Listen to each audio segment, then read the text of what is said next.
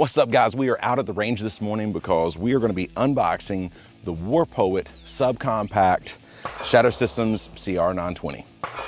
So we did get the optic on there already. It has a 13 round mag. And all oh, this is for the Holosun 507K. Which if you're looking for an optic for a smaller gun, the 507K is my absolute favorite version or our favorite type. And we will have a link to that in the description. And then here we go.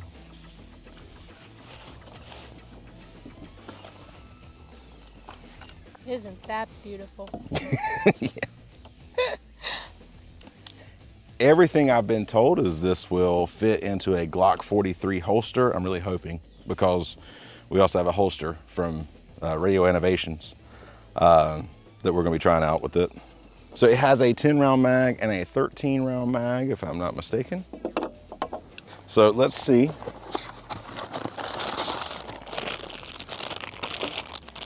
Here's the Radial Innovations holster. So this is my absolute favorite holster at the moment. Um, I now have a Radial Innovations holster for basically any carry gun I have. All right, so for size comparison, there is the SIG P365.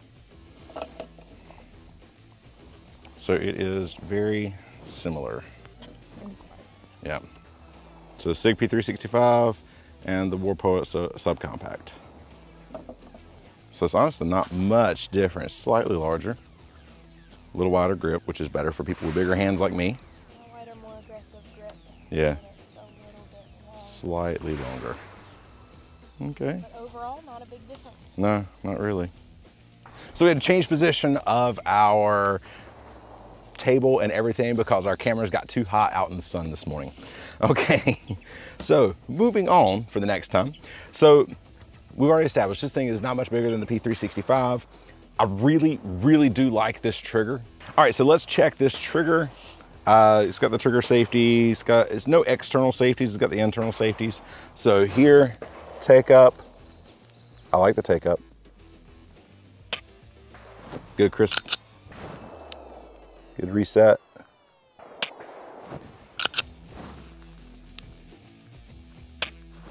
I like it. Uh, so it's advertised as a four and a half to five pound sugar pull. Uh, and you know, without actually putting it on a tester, it kind of feels very similar to that. Uh, but I, it's got a good defined wall and also has that nice crisp break, which I'm a really big fan of.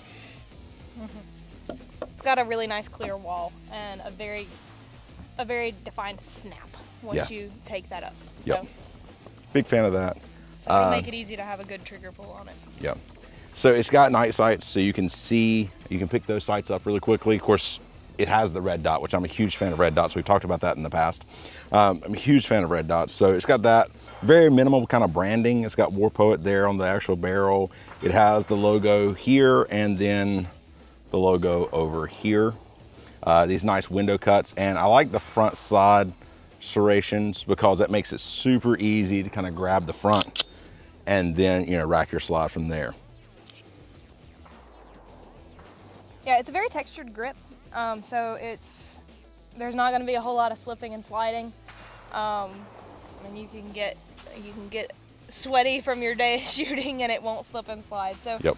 it's got an aggressive grip with some ag aggressive grip texturization and it'll be really good for retention. I would imagine. I guess we'll find out. I guess so. I think it's about time to put the first 200 rounds through this thing and see how it goes. The first 200 rounds, uh, Shadow System says that it needs 200 rounds to break it in really good. So we're very interested to see how it is within, within that first 200 rounds and then also after that first 200 rounds. Okay, so.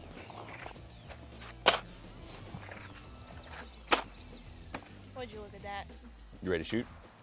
I'm ready to shoot. Awesome let's blow through 200 rounds.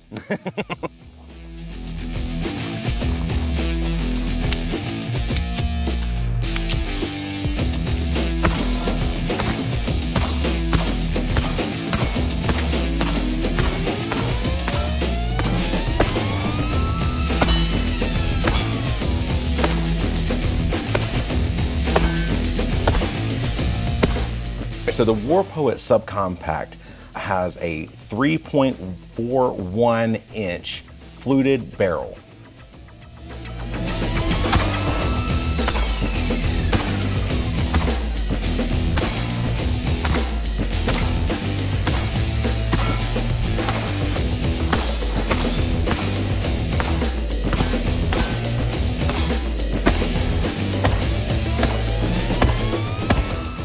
Grip frame is very aggressively textured on all sides to make it easier to grip.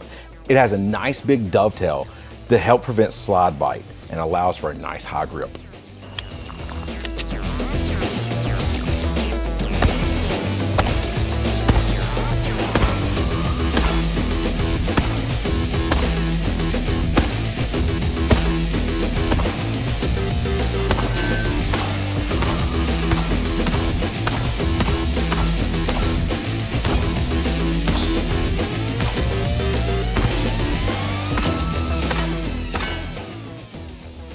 All right, guys, so we just finished. We actually shot 201 uh, shots for our final little test with the SIG. We put uh, 10 through there, five each, to kind of see what our, how, if it felt snappier than the SIG P365, which I thought pretty much it sound, it felt about the same as far as recoil. Um, just you're gonna be able to handle it better if you have larger hands Yeah, as well. that's so, that's kind of what it boiled down to. Uh, so it, it did not sway Jada. Her favorite is still the P365. Uh, and I think it, it- a lot of it is the size of my hands compared to the size of her hands. 201 shots, not a single malfunction. Not one. So it's been great. The War Poet edition came out after the very first run of the CR920s. Uh, so I know there was a couple people that had some problems trigger wise and barrel wise, but um, since the War Poet edition came out, I don't think they've had that kind of problem, and I know we didn't. And it was shipped out to us the very first day it was released. Yeah, overall, very impressive, impressive gun. I'm super impressed with it. Uh, am I going to carry it uh, right off the bat? I think I actually want to put some more rounds through it before I actually start carrying it. We'll see. I just want to get more used to it. I have lately been carrying the SIG. I've really kind of gotten used to that a little bit, although SIG is not my favorite. I tend to lean toward the Glock style guns. So, um, You went and let yourself get used to it, though. I did. I let myself get used to it. And that's the one thing I noticed at that final little test when we shot five from the Warpoet subcompact and five from the P365. Um, I noticed that, oh, I've, I've actually gotten used to shooting this little P365, even though naturally it's probably not the best fit for me. Overall, I feel like it's been a very successful unboxing.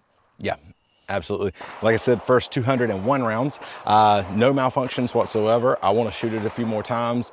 Am I going to start carrying that one? I do believe so. Uh, what we're going to do a little later is we're going to put this one, continue to put it through the test, and then we want to kind of look at this one versus some other popular subcompacts. I'm very interested to see how it stacks up when we actually put it through some tests compared to the P365, uh, compared to uh, my previous favorite Shield Plus.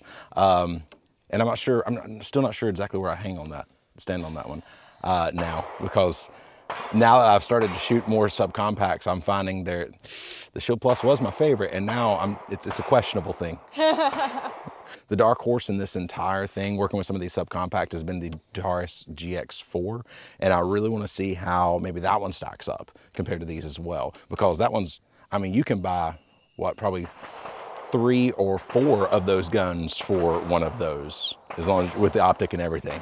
So You get a gun. You get a gun. you get a gun. And I get a gun.